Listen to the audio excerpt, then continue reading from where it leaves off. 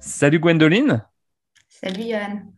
Alors Gwendoline, tu fais partie de notre équipe de tuteurs français de l'Académie français authentique et ça fait maintenant, si je ne me trompe pas, neuf mois que tu es avec nous.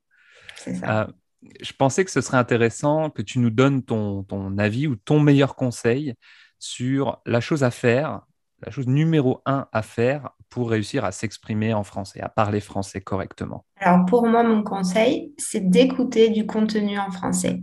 Mmh. Euh, je trouve que c'est super important euh, de se faire l'oreille, euh, de vraiment améliorer sa compréhension.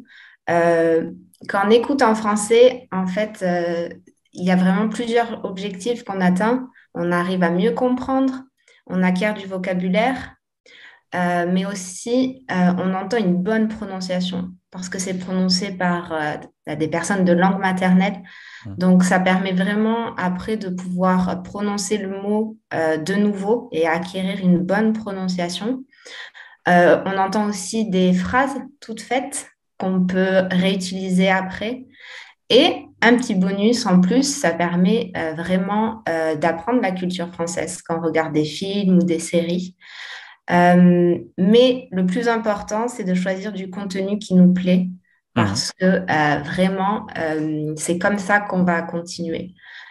et pour moi, voilà, après, ça va nous pousser à avoir plus de confiance pour parler parce qu'on aura déjà entendu beaucoup de choses en français et aussi on comprendra quand l'autre nous parlera. Donc, ça nous poussera à pouvoir répondre.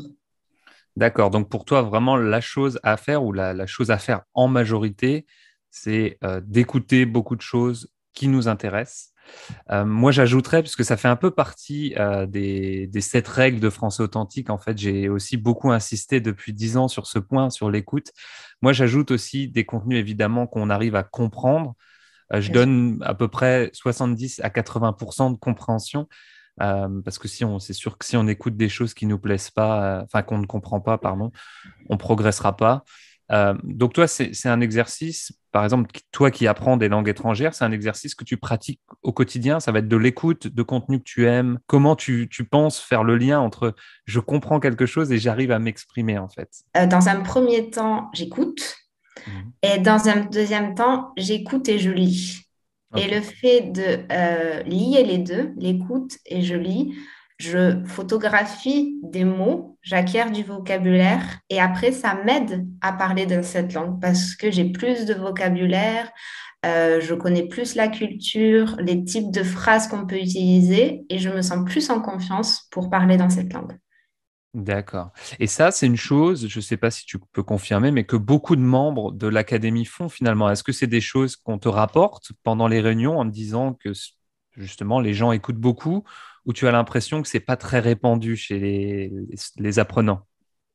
Euh, je pense que c'est plutôt répandu. Euh, parfois, même lors des réunions Zoom, si le thème s'y prête, euh, on essaie de donner des conseils aux autres de quel film, quelle série, mhm. quel livre lire, si on peut dire aussi lire les choses en français.